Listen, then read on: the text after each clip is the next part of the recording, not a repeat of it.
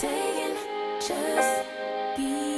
guys, welcome back to my channel. Today I'm going to be doing a little pantry organization and pantry staples video. I want to show you guys what's inside my pantry, how I kind of got it all organized and separated things out of a bunch of loose packets and a lot of mess in the pantry into literally just all really aesthetic organized little jars. Up until about six months ago, I've been share housing ever since I lived out of home. So I never really invested much time or energy into what went into my pantry or even how it looked. I pretty much either had no room because I was sharing with one or two other people or I just thought my housemates are probably just gonna eat and use all of my stuff anyway, so I couldn't really be bothered. Now that I live by myself, I have my own little pantry, and it's actually not that little. It's a really decent pantry in this apartment. I've been able to buy a whole bunch of staples and get everything really organized in the way that I want that looks really cute, it's really accessible. I pretty much have everything I need, so it cuts down the cost of my weekly shopping because I'm not buying quinoa in a packet or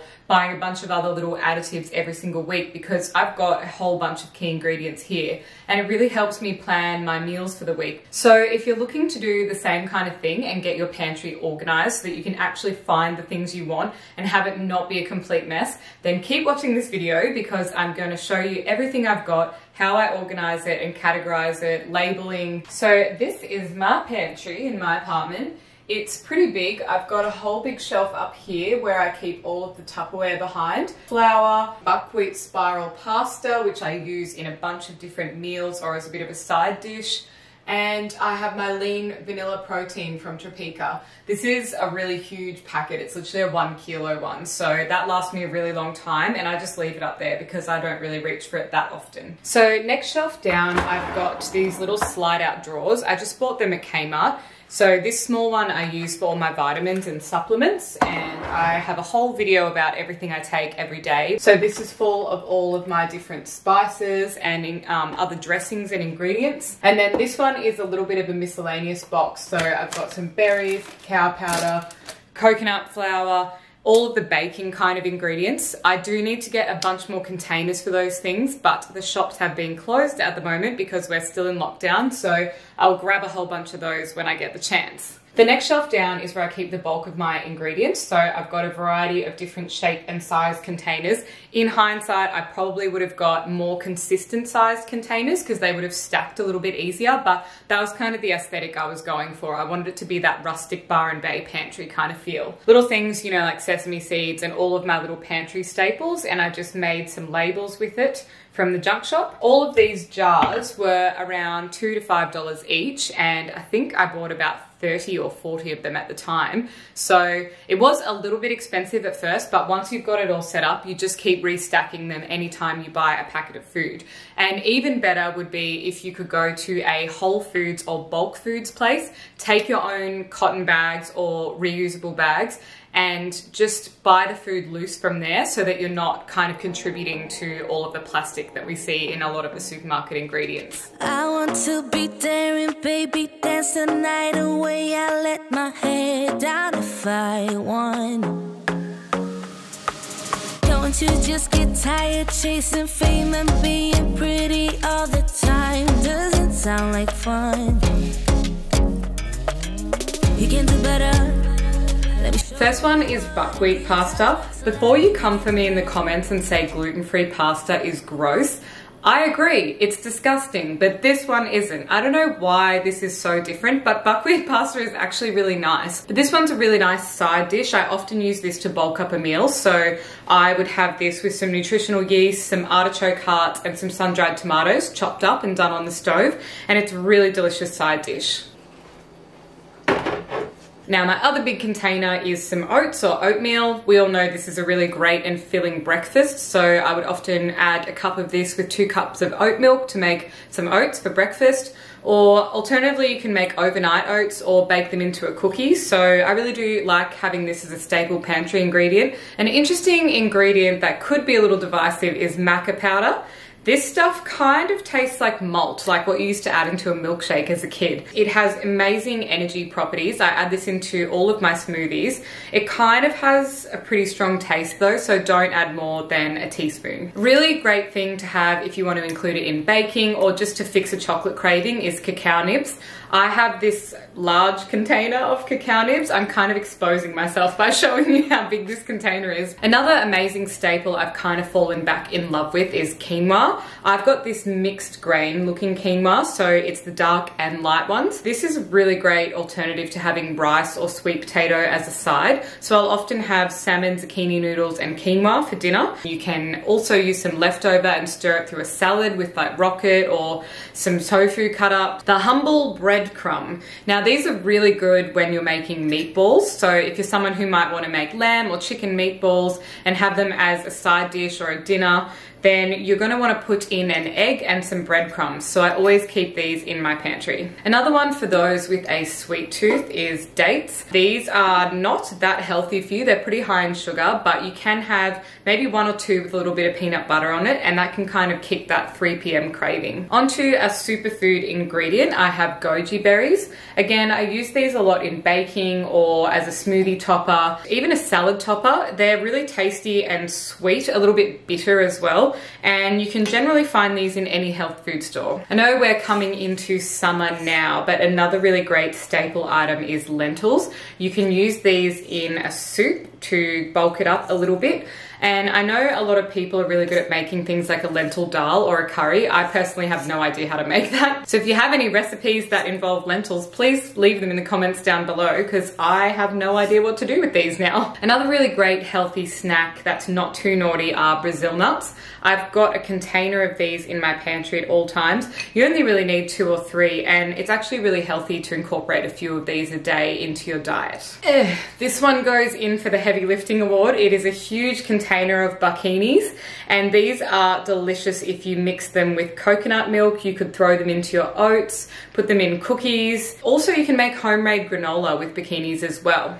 A staple in terms of salad dressing I've got is a good quality apple cider vinegar with the mother. Since it is salad season, another really great salad topper is pepitas or little pumpkin seeds. I've got a container of these because they're just really handy to throw into anything. You can also add them to your smashed avo for breakfast just to get a little bit of a crunch and a different texture. Another favorite thing of mine on top of smashed avo is chili. So I've got this little container of hot dried chili flakes, hemp seeds. These are so versatile. I add them into cookies, into salads. They're pretty flavorless to be honest. Now something I also never used to have is almond meal. I've got a little container of that as well. Almond meal is really great if you're making some healthy banana pancakes. That is the key ingredient along with the bananas and the egg. Not an essential item, but great if you're doing a last minute stir fry and you just want to add a bit of extra flavor as well are crushed peanuts. A really important one and something I always run out of is chia seeds. Chia seeds, again, key ingredient in a lot of my baking and my smoothies. They're an excellent source of protein. Another key ingredient that I really like, and especially after traveling in Morocco, is black currants. These I probably wouldn't have normally been that in love with, but they put them in a lot of the tagines, and that is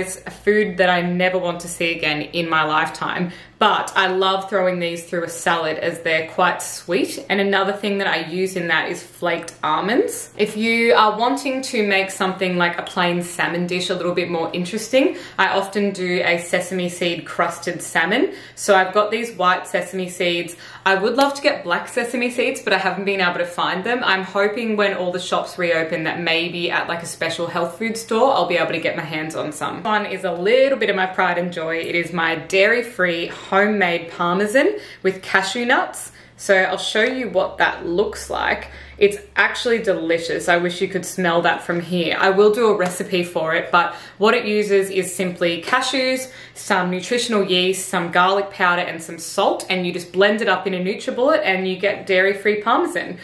Something I literally just forgot to show you is what I was talking about. It's the nutritional yeast. These um, you can just find at Coles or Woolworths and it's basically dairy-free cheese. I don't know why it tastes so accurate, but it does. So if you're vegan, vegetarian, or just dairy free, definitely get that in your pantry as a staple. I use it in so, so many meals. You can even sprinkle it on the top of like a tuna pasta bake or something, and it literally just tastes like cheese. I literally think spices are the key to healthy eating. If you want to have a plain piece of protein or some vegetables and you're just really unmotivated to eat it, if you add some really nice spices or some garlic or ginger to it, it's going to be a lot tastier and I guarantee you're going to want to eat that over an unhealthy option. So some of my favorite ones are from this company called Mingle Seasoning. This is their Moroccan spice, which is really great on steaks.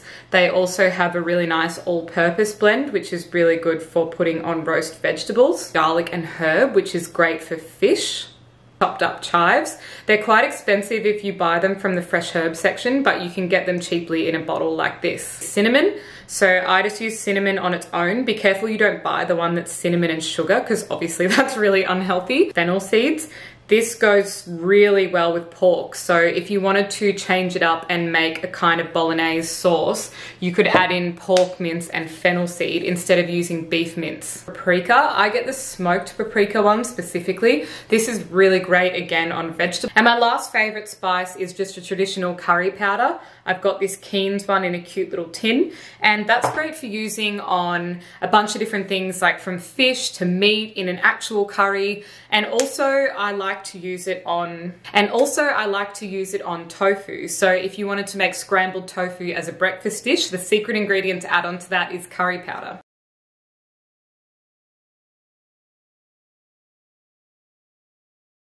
The only other thing I can think to show you that's probably pretty helpful, and I actually did learn this from a bunch of other YouTubers, are some fridge staples. So I will start down this end. I have whole grain mustard and Dijon mustard. These are really great for making a healthy salad dressing with. And you can blend that with any one of these oils. So I've got hemp seed oil, avocado oil, and macadamia oil. I also have a few other things to add to stir fries or cooking to add a little bit of interest. So there is chili oil, sesame oil, and a light soy. So I don't really buy any packet kind of stir fry sauces or any packet salad dressings and things like that anymore. I used to, but I just find it's better if you can make your own. And these are obviously a lot of a healthier option. Alrighty, well, that's it for what's in my fridge and my pantry and my spice drawers. I hope that you guys found this video useful for getting your pantry organized and going out and grabbing a bunch of these staples so that you kind of have all of that at your disposal. I really think it does make healthy eating a lot easier when you've got a lot of this stuff organized and you don't have to kind of think so hard about what to make or what you could add into a dish to kind of finish it off and, and make it really delicious. If you guys like this video, please give it a big thumbs up, hit the subscribe button, and I will be posting new content weekly. I look forward to seeing what you guys have to say in the comments. Thanks, and I'll see you in the next video. Bye. Take it personal